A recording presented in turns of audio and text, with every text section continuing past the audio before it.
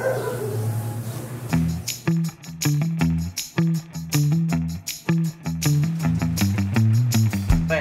gising na.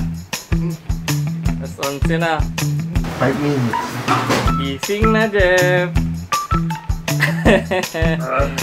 Alas 12 na. Ano nakabit yung mic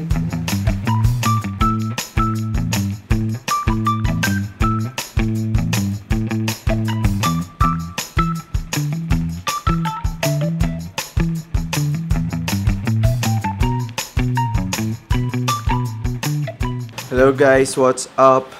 So for today, itutur ko lang kayo sa kung ano ba yung nangyayari kapag I want to slow down my weekend and I don't want to focus more of the content creation and focus more sa development ng sarili ko. So that's our video for today. This is Chef Geronimo. I hope you enjoy this video and kung mapapansin nyo ngayon, late ako nagising. Hindi siya ideal na 8 a.m. nagigising ako or 7 a.m. So, yan, kapag weekend, madalas nga minsan nung maabot ako ng 1 p.m. After this, magki-quick breakfast. Hindi pala breakfast kasi almost 12 na. Ay, hindi, 12 na pala. So, brunch na yung gagawin ko. But yes, I've opened my computer. So, kapag ka weekend, guys, ito, nagbabasa ako ng libro and I also take down notes. Kung mapapansin nyo sa book na binabasa ko, ayan, may mga sulat siya. So, para malaman ko, para malaman ko yung mga i-encode ko mamaya sa Notion kasi I use Notion to track my readings and yes, hanggang ngayon, sinimulan ko to think 2019 and hindi ko siya natatapos. But yes, I'm into this kind of hobby, reading books. Hindi lang to yung mga nabasa ko ng books, but yes, ito yung medyo natagalan na kong basahin kasi I want to cherish every words of it kasi yan, I think makakatulong to especially sa content creation journey natin. So if you're not yet part of my FB community, I'll put the link in our description box below. And yun, pinopost ko minsan yung mga nababasa ko.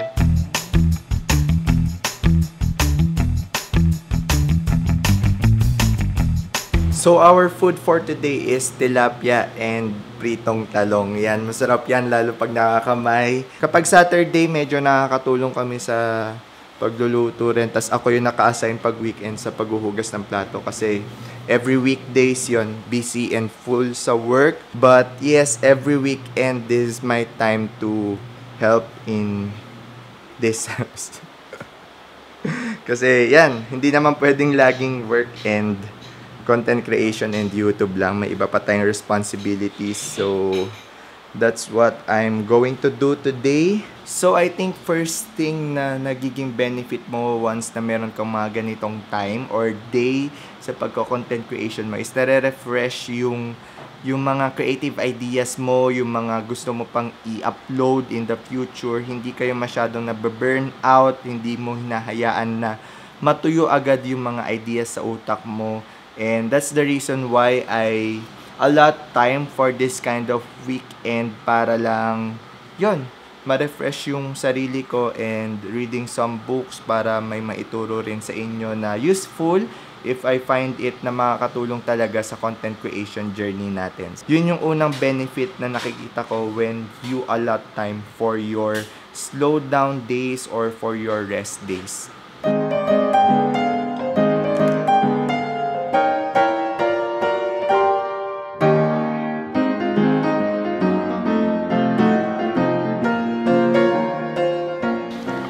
So guys, tapos na kaming kumain at maghugas ng plato. So next is maliligo na ako kasi kaagising ko lang talaga wala pang ligo and yan, kailangan ko muna maligo at mag-freshen up before anything else. Bye guys.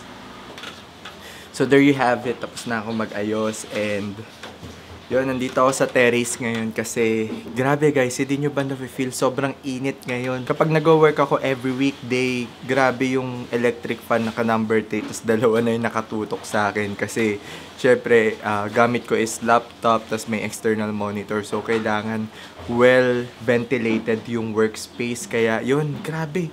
Sobrang init ngayon.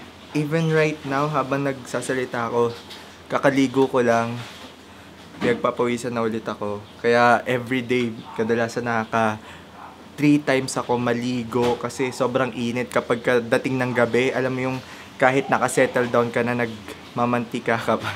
Kaya if you're experiencing right now yon summer na talaga guys. Kaya kung walang pandemic ngayon, kung walang virus, siguro lahat tayo nasa mall or kaya nasa beach or kaya nasa mga vacation spots kaya or gumagawa ng travel vlog but right now yes since may pandemic para safe dito muna tayo sa bahay and wala mo nang alis-alis. So I will start reading na this book and I will I will order some coffee and some sandwich for my mom. Yan, naglalaba kasi siya para may merienda naman. Yun, yun lang yung nangyayari ngayon. Sabi ko nga, slow down, just nagre-relax lang ako para re- ma-rejuvenate. Nice, rejuvenate.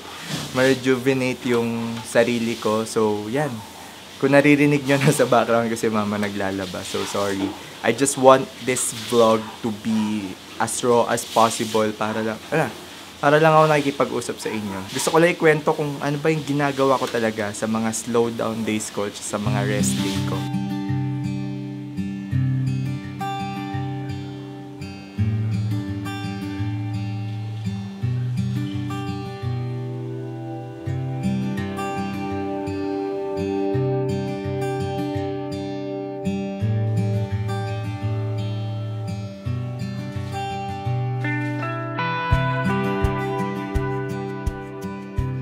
So before I continue reading, I want to share this to you. Sabi dito, mar- marketing is dead. Medyo napatanong ako, pero sabi niya dito, okay, maybe I, I am overstating my case. Marketing may not be dead, but in the world of social media, it has more dramatically. It's about tribe building nowadays. It is now about participating in a dialogue with fellow travelers. It is about building relationships. Lastly, sabi niya dito, marketing is no longer exploiting a market for your own benefit. It is about serving those who share your passion for your mutual benefit. Ang ganda, di ba? Before I continue, may naalala ko, nag-alarm kasi ako sa phone ko na I need to do something for work. So, sabi ko nga slow down. But yes, uh, saglit lang naman to. It would not take uh, more than an hour to do. So, I just need to go back to work and finish this one.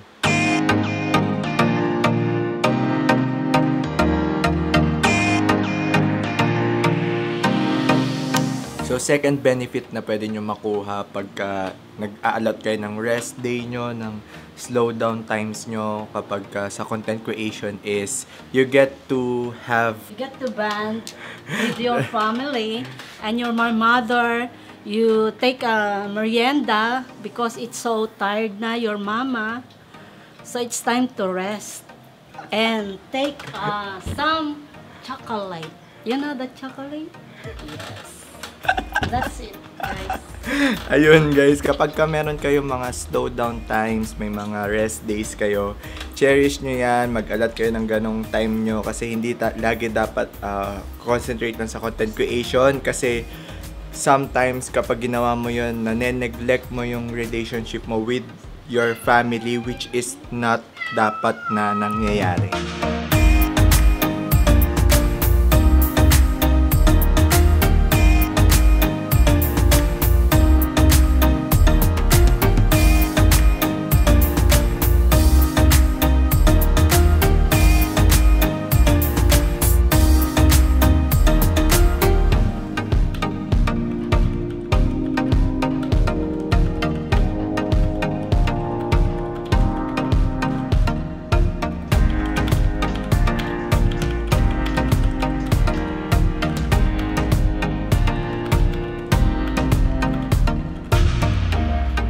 So I'm done reading the book and nakapag-note na din ako sa sa aking Notion and madilim na sa labas but wait medyo mainit pa rin talaga sa yun lang yung ginawa ko for the whole day and later may devotion night kami tsaka merong movie night so that's it. Wala nang masyadong iba pang gagawin. Technically, buong araw lang ako nagbasa and nagsulat ng notes. I've also posted some of my notes sa community group. I share some things na natutunan ko and earlier, narinig nyo nga yung mga nabasa ko rin, kaya shinare ko sa inyo. And yon basically, yun yung dalawang benefit na nakikita ko na kapag ka naglaan kayo ng oras para mapahinga kayo or magkaroon kayo ng slow down days. Kasi yon minsan nade-drain na tayo, minsan natutuyuan ng ng content ideas because syempre napapagod din tayo, tao din tayo. Kaya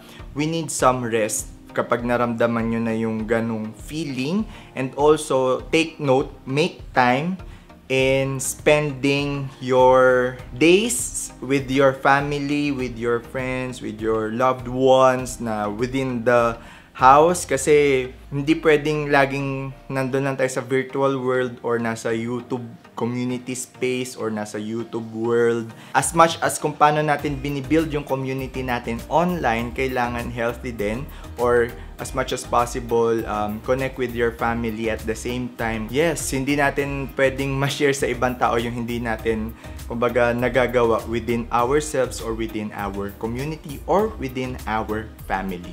So that's it for today. Thank you for watching this video. I'm Jeff Geronimo and if you want to learn more about photography, videography, editing, and vlogging, consider clicking the subscribe button. And also, if you like this video and gusto mong i-share sa kaibigan mo, don't forget to click the like and share button as well. And, and, and plus, if you want to support me and this channel, in creating more videos in the future, don't forget to click the Buy Me a Coffee site link in our description box below. Once again, this is Jeff Geronimo. Thank you for watching this video. And another reminder, please take your rest day. See you on my next one. Bye. Peace.